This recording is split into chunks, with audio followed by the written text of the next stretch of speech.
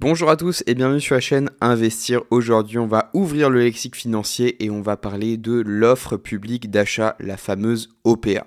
On va voir qu'est-ce qu'une OPA, comment ça fonctionne. On va voir les différents types d'OPA. On va voir les avantages d'une OPA pour l'entreprise qui la propose et les inconvénients. Mais avant ça, je vous invite à vous abonner en cliquant sur le bouton juste en dessous. Je vous invite également à mettre un pouce bleu. Ça mange pas de pain et ça m'aide énormément dans mon travail. Une fois que c'est fait, super, on va passer directement à la vidéo et on va d'abord définir l'offre publique d'achat. Alors déjà, une offre publique d'achat, c'est une proposition d'achat d'une entreprise qui est appelée l'acquéreur sur une autre qui va être appelée la société cible. La société cible, bah évidemment, c'est la société qu'on veut acquérir. Et on va vouloir faire cette opération, enfin cette offre publique d'achat un prix qui va être défini à un prix par action. En fait, l'acquéreur va vouloir racheter l'ensemble des actions de la société cible pour en prendre le contrôle total. Donc je résume, l'acquéreur va viser une société cible et il va lui proposer un prix par action. L'objectif, c'est donc de racheter l'ensemble des actions de la société cible pour en prendre le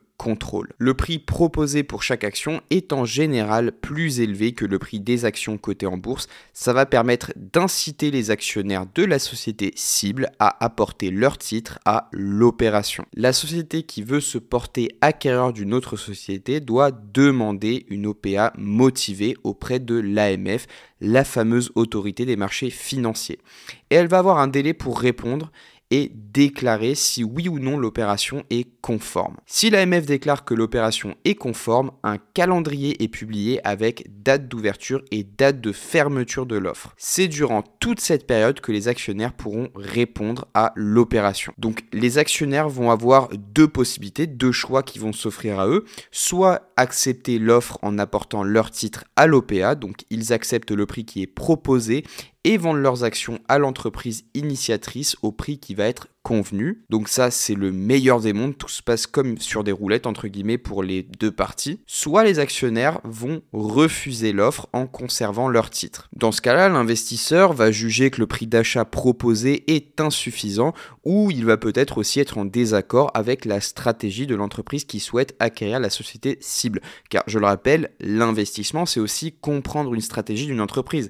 Et forcément, si au regard d'une OPA, euh, l'investisseur se dit que son investissement ne va pas fructifier à l'avenir pour X raisons, bah, il peut être en désaccord et refuser l'offre en conservant ses titres. Quant à l'OPA, il y a différents types d'OPA qu'il va falloir distinguer. Il y a l'OPA qui est dite amicale, c'est une offre publique d'achat amicale. Et ça va se passer en fait lorsque l'acquéreur de la société cible s'entend pour négocier sur les conditions du rachat. On a aussi l'OPA sollicité. En fait, c'est le conseil d'administration dont les dirigeants de la société cible sont favorables à l'opération et recommandent aux actionnaires de la société d'apporter leur titre à l'opération pour qu'elle se déroule avec succès. Donc en fait, il y a une collaboration qui s'opère entre toutes les parties pour mener à bien cette OPA amicale. Ensuite, on a l'OPA qui est dite hostile. En fait, c'est une offre publique d'achat qui, inversement, ne met pas d'accord toutes les parties. Ici, l'acquéreur et la société cible ne s'entendent pas pour négocier pour diverses raisons. C'est par exemple le cas lorsque la société cible ne veut pas être rachetée et ne souhaite pas être favorable à l'opération. On parle aussi d'OPA non sollicité. Ici, l'acquéreur va donc directement s'adresser aux actionnaires de la société cible pour racheter leur titre à un prix intéressant, le plus souvent plus élevé que le cours de la bourse actuel en fait tout simplement. Il va les inciter justement à vendre leurs titres sans passer par l'approbation du conseil d'administration et des dirigeants. On comprend parfaitement le caractère hostile de cette opération publique d'achat. Maintenant, nous allons voir les avantages d'une OPA. Donc, on va essayer d'englober tous les avantages pour toutes les parties. Donc, déjà, l'offre publique d'achat est en général une opération qui est très intéressante pour les actionnaires de la société cible. Puisque, comme je l'ai dit, le prix de l'action proposée par l'acquéreur est très souvent supérieur au prix du marché.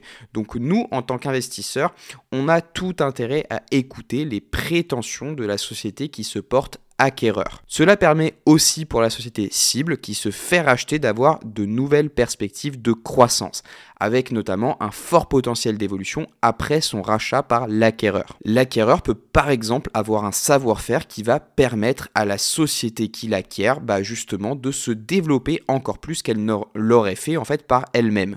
Donc parfois les OPA peuvent être très intéressantes et c'est souvent le cas pour les entreprises qui se font racheter. Mais les OPA ont aussi des inconvénients puisque lorsqu'une OPA est hostile, cela peut créer des tensions entre la société qui se fait racheter et l'acquéreur. En plus de ça, la société cible ne sera plus indépendante, elle sera évidemment contrôlée par la société qui l'acquiert. En parallèle, dans une OPA, malheureusement, il peut aussi y avoir des licenciements parce qu'il va arriver certainement qu'il y ait des postes doubles qui ne servent pas à grand chose et qui ne sont pas en fait utile à la continuité de l'activité.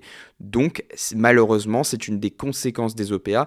Souvent, elles sont assorties justement de licenciements pour motifs économiques, car les postes en double ne vont plus servir à grand-chose. Si on résume en quelques mots ce qu'est une OPA, une offre publique d'achat, en fait, c'est une proposition de rachat d'une société cible par un acquéreur. Le prix va être fixé dans les conditions de l'OPA et la procédure est soumise à l'approbation de l'autorité des marchés financiers. Donc, les entreprises ne font pas ce qu'elles veulent, elles sont toujours soumises à l'approbation de l'AMF qui va, entre guillemets, mettre le tampon à la fin. Cette opération va apporter de nombreux avantages pour les investisseurs qui se voient racheter leurs titres à un prix qui est souvent plus intéressant. Mais il peut y avoir des inconvénients, comme je l'ai dit, lorsque l'OPA n'est pas sollicité et créer des tensions bah, entre les actionnaires et les sociétés en fait qui sont impliquées directement dans l'OPA. Voilà, c'est tout pour cette vidéo. Si elle vous a éclairé, n'oubliez pas de mettre un pouce bleu, de vous abonner et moi je vous retrouve sur les deux vidéos qui s'affichent à l'écran.